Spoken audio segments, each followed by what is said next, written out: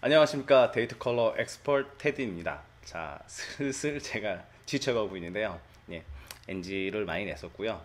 아시겠지만 저희 동영상 강좌는 절대 편집이 없습니다. 바로 한 번에 처음부터 끝까지 달리는 이런 좀 음, 무식한 이런 강의입니다. 자 오늘은 지난 시간에 이어서 HDR 작업을 할 건데요. 아 자꾸 제 얼굴 보시면서 개기름에 부담스러워하지 마세요. 저도 좀 부담스럽습니다. HDR을 알아볼 건데요. 예, HDR은 음, 여러 가지 뜻이 있지만 high dynamic range입니다. 음, 혀를 꽈서 좀 죄송하지만 왜 high dynamic range냐면 카메라는 사람보다 컬러는 많이 보지만 그에 비해서 밝고 어두운 부분을 좀 사람보다는 부족하게 본다는 거죠. 그 부분을 확장시키는 이제 표현 기법이고요. 그것을 위해서는 포토샵에 있는 tone mapping을 쓰기도 하고요. 그거보다 더 좋은 효과를 위해서 뭘 쓰겠어요? 플러그인을 사용하죠. 플러그인을 사용하는데요. 많은 분들이 물어보세요. 저는 Photomatix에 어떤 플러그인을 사야 됩니까? 라고 물어보시는 경우가 개인적으로 과외를 하거나 강의를 할 때 많이 물어보시는 부분입니다.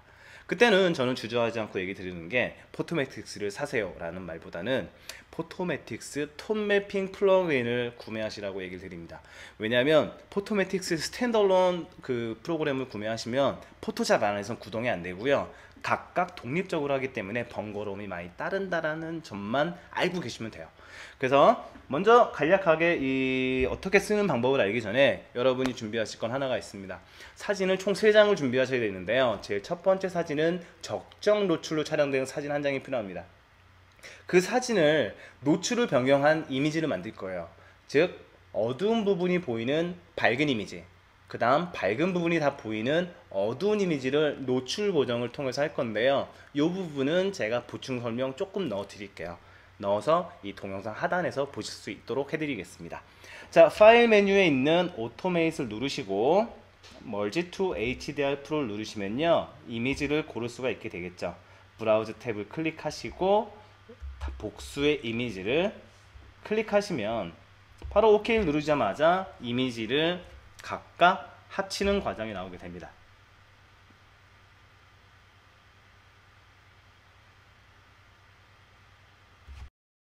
자 이렇게 나온 이미지를 먼저 확인하면요. 포토매틱스라는 작업을 할 때보다 이미지가 좀 많이 번져 있는 느낌이 들어요. 그렇다고 여러분이 옆에 있는 톤앤 디테일 작업을 하지 마시고 OK 버튼을 누르자마자 또 기다려야 됩니다 물론 이제 CPU가 빠르고 이제 이미지 사이즈가 작으면 작업이 빨리 끝나는 건데요.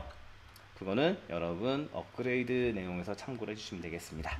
자 이때 이미지에서 격자 모양이 나오면요. 컨트롤 H를 누르시고 격자 없애주시면 되겠습니다. 그 이 이미지가 나온 상태에서 바로 끝내느냐? 그건 또 아니죠. 이 필터에 있는 부분도 아니고요. 이미지 탭에 있는 Adjustment를 클릭하시고 하단 부분에 하단 부분에 HDR 토닝을 누릅니다 여기서 여러분이 어떻게 작업을 하셔야 되냐면 제일 첫 번째로는 Toning Curve and Histogram의 암부 부분을 좀 낮춰주세요. 그 다음 밝은 부분을 선택하셔서 원하는 토닝의 S컵을 만들어 주시는 거죠. 만들어 주시고 그 다음 무엇을 하시냐면 Tone and Details에서 디테일의 값을 올려 주시면 blurry 했던 이미지가 좀 더 sharpen한 느낌이 나겠죠. 어, 영어로 섞었으니까 좀 저한테 제 이미지에는 안 어울리는 것 같습니다. 뭐냐면 좀 이제 부들부들했던 느낌이 날카로워진다는 것이죠. 이 상태에서 더 욕심내지 마시고 OK를 누르시면 HDR 이미지가 기본적으로 완성이 됩니다. 이렇게 된 상태의 이미지에서 여러분이 또 다른 느낌으로 만들 수 있는 건 바로 포토매틱스를 사용하는 건데요. 이때는 바로 이제 멀지2 HDR 프로로 불러오는 게 아니라 바로 이미지 한 장을 불러오세요. 그 적정 노출로 촬영된 이미지만 불러오면 됩니다. 불러오면 이 사진하고 두 개, 원본하고 비교했을 때 무슨 차이가 나나요? 자, 보정본의 디테일이 조금 더 많이 살아있는 것을 알 수 있죠. 채도가 빠진 건 나중에 후보정할 때 추가를 해주면 됩니다. 역시 열심히 강의를 했더니 모니터 앞에 침이 잔뜩 튀었습니다. 자 일단 이제 보정해야 되는 사진을 놓고 필터에서 Photomatix tone mapping 이 내용이 안 나오면 여러분이 구매하신 그 Photomatix tone mapping은 standalone이기 때문에 이 프로그램이 뜰 수 있도록 tone mapping 플러그인을 꼭 확인하고 구매를 하셔야 됩니다. 저처럼 두 번 사는 오류는 범하지 말란 얘기죠. 저 두 번 샀어요. standalone과 tone mapping 별도로 정말 이중으로 돈 나가고 이거면은 제가 밥을 어, 좀 근사하게 한 끼 더 먹을 수 있었을 텐데 아무튼 이 tone mapping을 클릭하고 tone mapping 플러그인을 실행하게 되면 이 좌측에 있는 슬라이더 값을 수정해서 여러분이 원하는 드라마틱한 느낌을 연출하도록 합니다. 보통 Tone Compressor는 그러한 느낌을 만들 수는 없고요. 이 Detail Enhancer의 슬라이더를 이용해서 변경하는 작업을 사용하게 됩니다. 이때 모든 값은 여러분이 임의로 정해주시는 것보다는 일단은 먼저 초기화를 시켜주시고 디폴트 값인 상태에서는 포토샵을 이용한 HDR보다 더 만족스럽지 않은 이상한 결과물이 나오기 때문에 우선 Strength 값을 90 정도를 입력을 하시고요. 바로 엔터를 누르면 이 창에서 튕겨나갑니다. 그렇죠? 이런 경우는 여러분이 Photomatix 플러그인을 다시 로딩 하시고 엔터가 아닌 다음 칸을 선택을 하는 걸 써야 됩니다. 다시 로딩 하시고 여러분이 Tone Compressor가 아닌 Details Enhancer 값을 수정을 해야겠죠. 이때 Color Saturation 값은 기본이 보통 50으로 되어 있을 텐데 이 값을 40으로 입력을 해주시고요. 그 하단에 있는 Luminosity 값도 10이 아니라 이제 7 정도, 즉 한 70%의 값을 입력해 주시면 되겠습니다. 숫자를 7을 누르시면 되고요.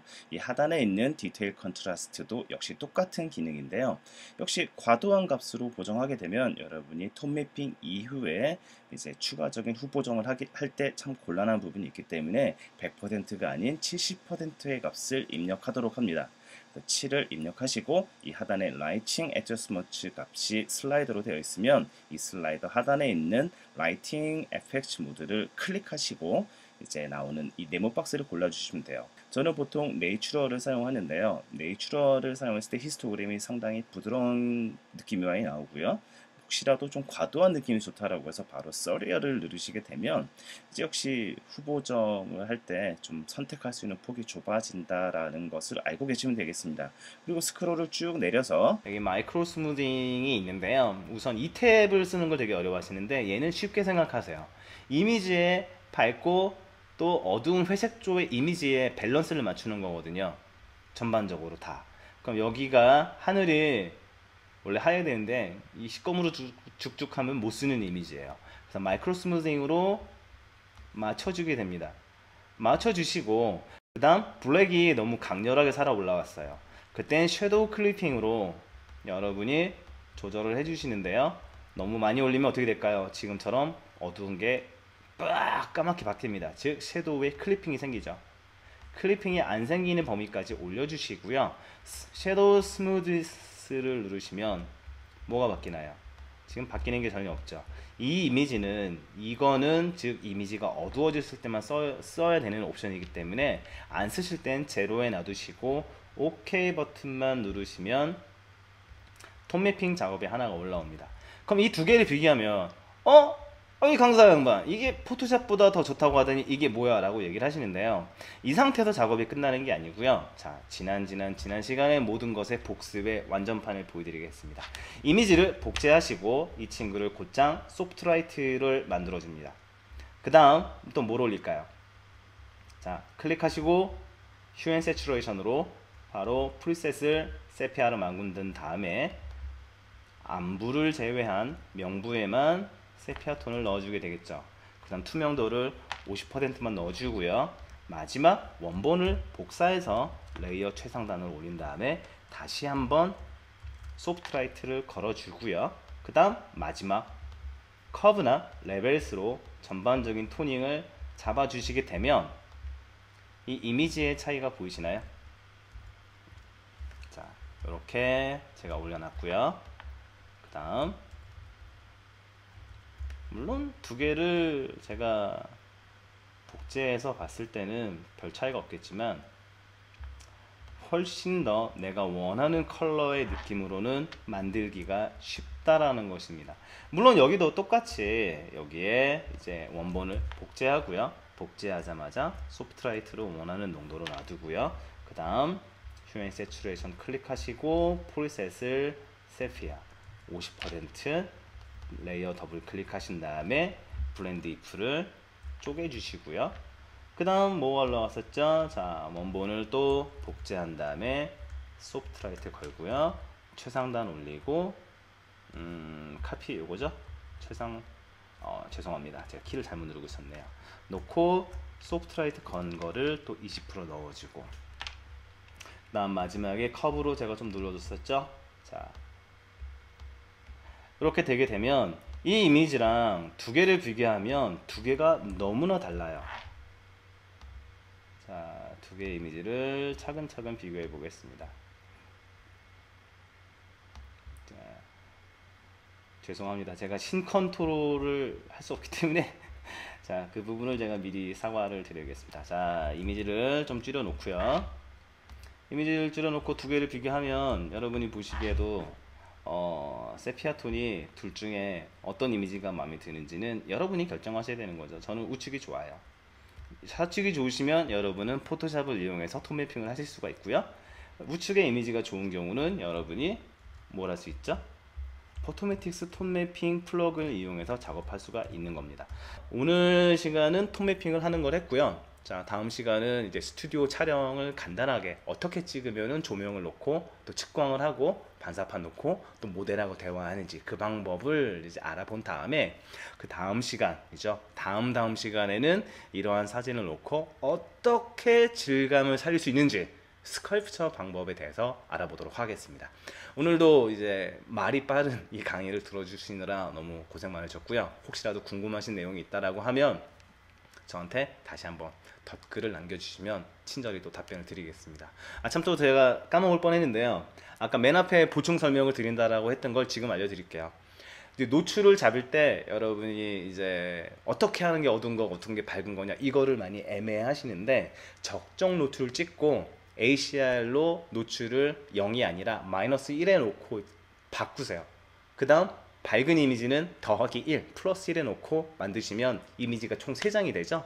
그 3장을 가지고 이렇게 만드시면 되는 겁니다.